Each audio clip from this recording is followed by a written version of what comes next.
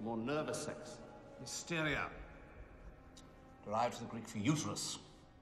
Much studied by the French. It has of late come under the scrutiny of our Austrian colleagues. Tonight, we will endeavor to add a British accent to this chorus.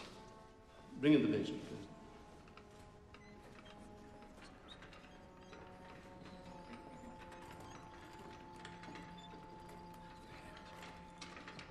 As you can see, the patient is a comely woman, five and thirty years, who has been under my care in Bethlehem Hospital.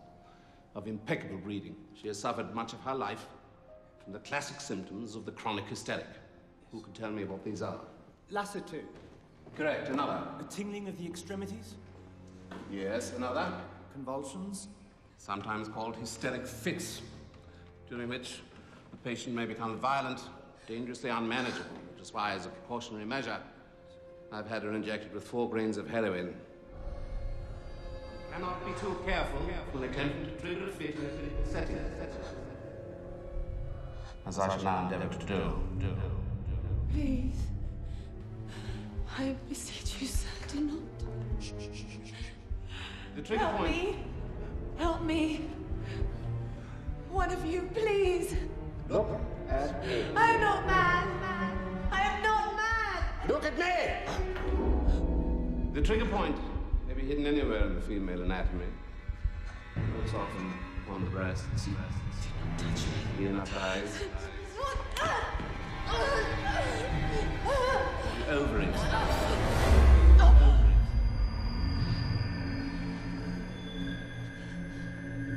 Note the clenched fists, the arched back, tonic and clonic spasms, including, finally, in a profound contracture. Watch yourself. Started a monthly bleed.